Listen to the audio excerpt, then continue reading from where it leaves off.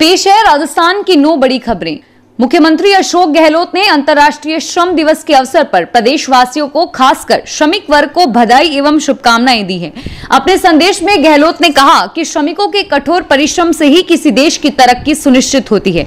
हमारे मेहनत का श्रमिक विकास की महत्वपूर्ण कड़ी है। आज़ादी के बाद आज देश एवं प्रदेश जिस मुकाम पर है, उसमें श्रमिकों की मेहनत का बड़ा योगदान है। जयपुर में पुलिस ने आज दो नकली ड्रग निरीक्षकों को गिरफ़्तार किया। पुलिस के अनुसार महेश और मोहन नामक व्यक्ति प्रागपुरा थाना क्षेत्र के पावटा एरिया में नकली ड्रग इंस्पेक्टर बनकर घूम रहे थे। उन्होंने गाड़ी पर भारत सरकार लिखवा रखा था। ड्रग इंस्पेक्टर सिंधु शर्मा को इस बारे में जानकारी मिली तो उन्होंने पुलिस को सूचना दी।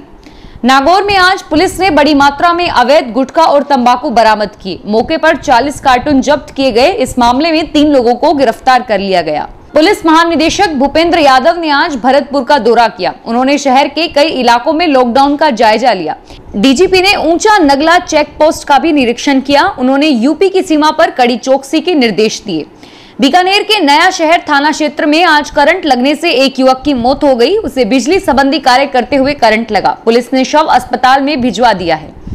राजस्थान सरकार ने राज्य के अलग अलग इलाकों में फंसे मजदूरों को उनके घर भेजना शुरू कर दिया।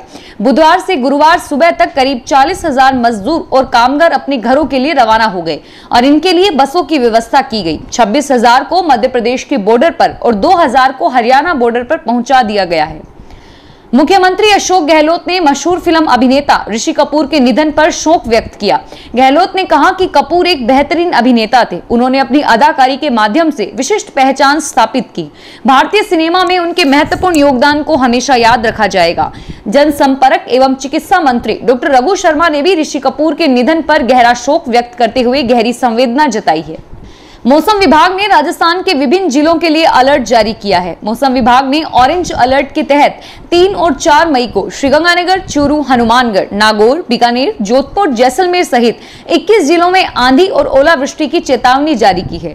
ऑरेंज चेतावनी यहाँ भारी बरसात और ओलावृष्टि हो सकती है और वहीं 30 अप्रैल तथा एक और दो मई को कई जिलों में बरसात और आंधी की चेतावनी जारी की गई है। मौसम विभाग के अनुसार तीस अप्रैल को श्रीगंगानगर, चूरू, हनुमानगढ़, नागौर, बीकानेर, जोधपुर, जैसलमेर, झुंझुनू, सीकर, दौसा, भरतपुर, जयपुर, करौली, धौलपुर, सवाई माधोपुर टोंक, अलवर, बूंदी, कोटा, अजमेर, भीलवाड़ा, राजसमंद, उदयपुर, चित्तौड़गढ़ ज़िले में कहीं कहीं धूल भरी आंधी और बादल गरजने और 30 से 40 किलोमीटर प्रति घंटे की रफ्तार से हवाएँ चलने की संभावना है। जयपुर में डॉक्टर सोनू छाबड़ा द्वारा लॉकडाउन के दौरान प्रताप नगर के अंतर्गत बम्बाला कच्ची बस्ती में जरूरतमंदों को भोजन के पैकेट और मास्क बांटे गए। उन्होंने खुद के श्रम और आर्थिक सामर्थ्य से लॉकडाउन के दूसरे चरण में सोलहवें दिन 500 से ज़्यादा भोजन के पैकेट और 200 मास्क का वितरण किया।